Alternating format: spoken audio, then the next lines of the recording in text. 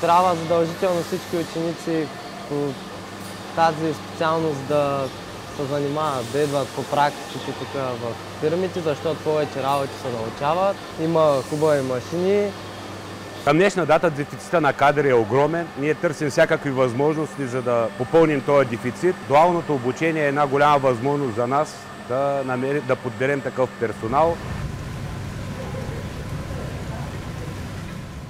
Готварството е една изключителна нова реализация за абсолютно всички тинейджери. Още повече, че професията готвач се разраства много из България и чужбина и не само. Изравни филето в едната чаша. И за мен най-важното в една кухня е желанието. Има ли човек желание, винаги може да постигне това, което иска. Много старание, което в младите го няма и постоянство.